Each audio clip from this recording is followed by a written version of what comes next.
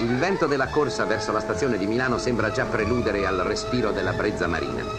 Un album esprime al presidente De Micheli, al dottor Borletti e al commendator Cicogna dell'Associazione Industriale Lombarda la riconoscenza di questi figli dei lavoratori.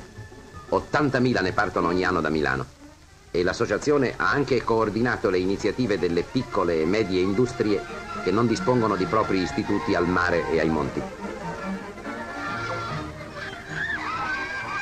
Un momento che le mamme hanno desiderato. E adesso quasi quasi benedirebbero il capostazione se il treno partisse con un piccolo ritardo. Ma postdomani avranno la prima cartolina, esultante dell'incontro col mare.